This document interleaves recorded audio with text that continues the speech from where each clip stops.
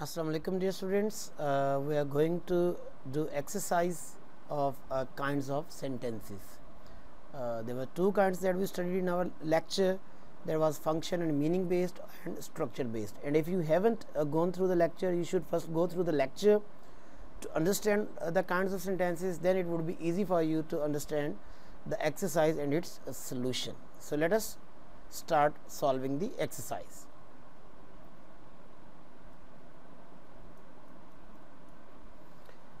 लेकिन जी first of all हम डिस्कस uh, करेंगे identify sentence kind according to function function में हमने फाइव काइंड्स की थी declarative interrogative imperative exclamatory and optative so let us start first sentence आपको नज़र आ रहा है जी? The horse reared and the rider was thrown कि जो हॉर्स है रेयर का मतलब होता है कि उसने अपनी टांगे ऊपर को उठाई हैं और जो राइडर था जो है वो गिर गया है जी, वो फॉल कर गया तो हमारा ये डेक्लरेटिव सेंटेंस है, क्योंकि इस जुमले में सिर्फ़ एक स्टेटमेंट आई है, कोई क्वेश्चन नहीं है, कोई ऑर्डर नहीं है, कोई इमोशंस का इजहार नहीं है। तो it's simple a statement it's declarative walk quickly else you will not overtake him तो एडवाइस है, तेज़ी से चलो, वगरना तुम उनको ओवरटेक नहीं कर सकते, उनसे आगे नहीं निकल सकते। तो इम्पेरेटिव है, क्योंकि जुमले में एक एडवाइस हमें नज़र आ रही है। Did you invite him to the party it's a question तो इंट्रोगेटिव है जी। What a beautiful baby it is तो यहाँ हमें इमोशंस का इजहार है इमोशंस ऑफ़ इमेजमेंट है, हैरानी है। कितना प्यारा बच्चा है तो एक्सक्लेमेटरी है जी। आइदर ही इज़ ड्राउंड और सम पासिंग शिप है सेव्ड हिम इट्स डेक्लेरेटिव देखो इन पर फुल स्टॉप से भी हम पहचान रहे हैं कि सिर्फ़ स्टेटमेंट है कि यहाँ तो वो डूब चुका है, डूब गया है या किसी पासिंग शिप ने गुजरने वाले जहाज़ में उसे बचा लिया है। तो एक स्टेटमेंट है, कोई बंदा दे रहा है किसी के बारे में तो स्टेटमेंट डेक्लेटिव सेंटेंस या असर्टिव भी कह लेते हैं। I return home because I was tired it's also statement मैं घर आ गया क्योंकि मैं थका हुआ था statement declarative do they always talk who never think? एक क्वेश्चन है क्या वो जो हमेशा बोलते हैं वो आ, क्या नाम लेते हैं वही बोलते हैं जो सोचते नहीं हैं? तो क्वेश्चन मार्क भी बता रहे हैं इंट्रोक्टिव है। Do not poke your nose into others affairs एक एडवाइस है एक रेप्रीमांड है और जुमला वर्ब के पास देखो क्वेश्चन मार्क नहीं है। दोनों जुमले डू से शुरू हुए थे लेकिन सेवन्थ वाले में क्वेश्चन था और ये क्वेश्चन नहीं है। ये सिर्फ़ एक एडवाइस है। कि दूसरों के मामला में अपनी टांग मत अड़ाओ। इंग्लिश में कहते हैं, पोक वंस नोज़ है और उर्दू में टांग अड़ाना है। तो एक एडवाइस है इम्पेरेटिव है जी। The patient had died when the doctor arrived कि जब डॉक्टर आया, मरीज़ मर चुका था। ज़ाहिर है प्योरली डेक्लेटिव है। उसकी रीज़न की एक स्टेटमेंट दी जा रही है कि जब डॉक्टर आया, मरीज़ मर चुका था। May God bless you with success एक प्रेयर है। तो प्रेयर आए तो ऑप्टेटिव है, अल्लाह आपको कामयाबी, खुदा आपको कामयाबी दे तो it's purely optative set okay students next आगे जी identify sentence kind according to structure structure की बेस पर फोर काइंड्स होती हैं. हमारी simple compound complex and compound complex आइए देखते हैं. तो पहला सेंटेंस आपको नज़र आ रहा है students the horse reared and the rider was thrown reared मतलब वो आगे को उसने अगली टांगे उठाई हैं रेड किया है. तो राइडर पीछे गिर गया। दो इंडिपेंडेंट क्लॉजेज जुड़ी हैं। The horse reared subject verb एक क्लॉज मतलब एक सब्जेक्ट वर्ब कॉम्बिनेशन आ गया। The horse reared the rider was thrown दूसरा सब्जेक्ट वर्ब कॉम्बिनेशन है। तो ये हमारा प्योरली कंपाउंड सेंटेंस है students the rider was thrown हमारा दूसरी क्लॉज आ रही है। अब आप जो एंड है, ये एंड क्या ये एंड है fan boys fan boys means for and nor but or yet so इन सब का फ़र्स्ट अल्फ़ाबेट मिला के हमने फ़ैन बॉयज़ एक एक्रोनिम बना रखा है। एक वर्ड जैसे वापडा water and power development authority तो वापडा तो fan boys for and nor but or yet so तो the horse reared and the reared was thrown ठीक हो गया। तो जब फ़ैन बॉयज़ दो क्लॉजेज को जोड़ रहे हैं तो याद रखें दोनों इंडिपेंडेंट है। तो इंडिपेंडेंट क्लॉजेज जब दो या ज़्यादा जुड़ती हैं तो कंपाउंड सेंटेंस बनता है। तफसील के लिए आपने लेक्चर देखना है students walk quickly else you will not overtake him clauses तो दो हैं। वॉक क्विकली हमारी इम्पेरेटिव uh, क्लॉज है इम्पेरेटिव सेंटेंस है। आपको पता ना इम्पेरेटिव सेंटेंस का यू इम्प्लिसिट होता है जैसे go sit down work hard तो ये सब्जेक्ट तो हमारे पास इसका मौजूद है। हमें जो लेनी है वो सिर्फ़ आप वर्ब मौजूद है सब्जेक्ट पर मौजूद है walk quickly you will not overtake इन दूसरी क्लॉज है। तो ये ज़ाहिर सिंपल से आगे चल है। सिंपल में एक क्लॉज होती है ये सिंपल से तो आगे चला गया। या तो कंपाउंड है या कम्प्लेक्स है। फ़ैन पास जोड़ता तो हम कहते जी ये कंपाउंड है। लेकिन एल्स ने जोड़ा है।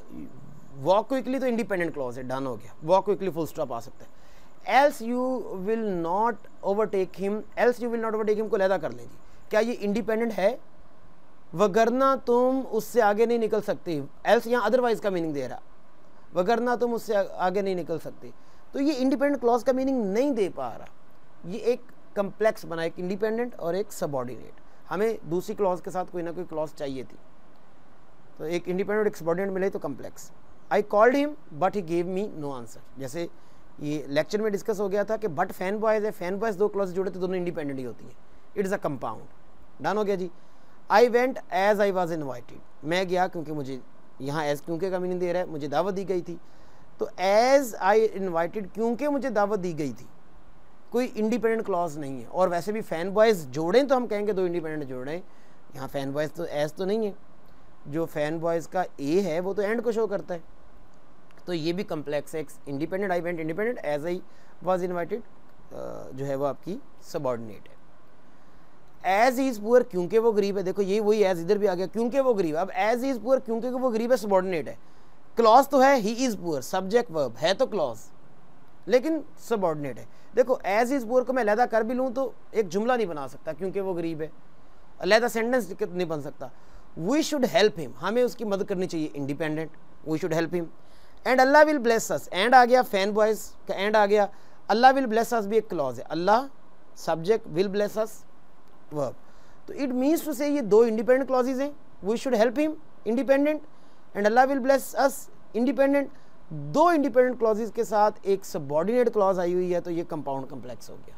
जब हमने पढ़ा था कि दो या ज़्यादा इंडिपेंडेंट क्लॉजेज और साथ एक सबॉर्डिनेट क्लॉज आ जाए डिपेंडेंट क्लॉज आ जाए एज इज़ पर डिपेंडेंट है, एक लहदा सेंटेंस अकेली नहीं बना सकती तो ये कंपाउंड कम्प्लेक्स हो गया। I return home because I was tired complex है जी। I return home independent full stop लगा सकते हैं। बिकॉज़ आई वॉज़ टायर्ड क्योंकि मैं थका हुआ था इंडिपेंडेंट नहीं, क्योंकि मैं थका हुआ था, कुछ ना कुछ चाहिए तो कम्प्लेक्स हो गया। थी दोनों clauses he. They always talk who never think जो कभी सोचते नहीं, वो हमेशा बातें करते दे ऑलवेज टॉक तो इंडिपेंडेंट है दे ऑलवेज टॉक वो हमेशा बातें करते रहते हैं जी full stop who never think जो कभी सोचते नहीं है. अब जो कभी सोचते नहीं है तो क्लॉज हु सब्जेक्ट इसका? हु प्रोनाउन है जी? रिलेटिव प्रोनाउन के तौर पर हम अक्सर इसको ले लेते होते हैं इंट्रोक्टिव प्रोनाउन भी ले लेते हैं. हु थिंक सब्जेक्ट वर्ब है तो क्लॉज लेकिन हु नेवर थिंक जो कभी सोचते नहीं, उसको चाहिए जो कभी सोचते नहीं. अब जो कभी सोचते नहीं, कुछ ना कुछ चाहिए, वो नुकसान उठाते हैं. जो कभी सोचते नहीं वो कभी कामयाब नहीं होते। They never succeed they never succeed who never think तो it means who never think एक सबॉर्डिनेट है independent subordinate complex he came oftener he came oftener वो अक्सर आता है इंडिपेंडेंट दैन वो एक्सपेक्टेड जितनी हमने तो की, जितनी हम तो करते थे, जितनी हम तो करते थे, देखो सबॉर्डिनेट है। तो क्लॉज वो एक्सपेक्टेड लेकिन दैन की वजह से वो सबॉर्डिनेट हो गया। The patient had died independent है, मरीज़ मर चुका था the patient had died full stop दे सकते हैं आप इंडिपेंडेंट है। When the doctor arrive subordinate है। वेन द डॉक्टर अराइव जब डॉक्टर आया वेन द डॉक्टर अराइव जब डॉक्टर आया।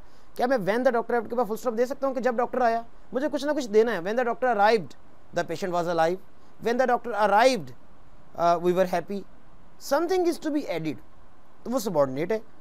इंडिपेंडेंट सबॉर्डिनेट कम्प्लेक्स आखिरी भी कम्प्लेक्स ही निकली जी। दो ही इज़ पुअर अगरचे वो गरीब है। देखो, अगरचे वो गरीब है सबॉर्डिनेट क्लास है। दो, है तो क्लॉज ही इज़ आ गया सब्जेक्ट वर्ब आ गया। याद रखिएगा हेल्पिंग वर्ब को वर्ब ही कहते होते हैं। स्पेशली जब आगे मेन वर्ब भी ना हो पुअर तो मेन वर्ब नहीं है ना तो इजी मेन वर्ब कहलाएगा। हेल्पिंग वर्ब को मेन वर्ब कहना चाहिए जब आगे वर्ब ना हो। एक बड़ी मज़े की चीज़ है। तो ही इज़ सब्जेक्ट वर्ब आ गया। दो ने उसको सबॉर्डिनेट कर दिया। दो इज़ पुअर अगरचे वो गरीब है। अब कुछ ना कुछ तो ये ना, अगरचे वो गरीब है। ही इज़ ऑनेस्ट इंडिपेंडेंट है जी। ही इज़ ऑनेस्ट लदा करके लिख सकते हैं। ही इज़ ऑनेस्ट वो ईमानदार है। Ali is honest. The subordinate, independent, complex. So I do hope you would have understood uh, all the concepts of uh, sentence kinds and if you still have question you can contact me through my WhatsApp number. Thank you. Thank you very much.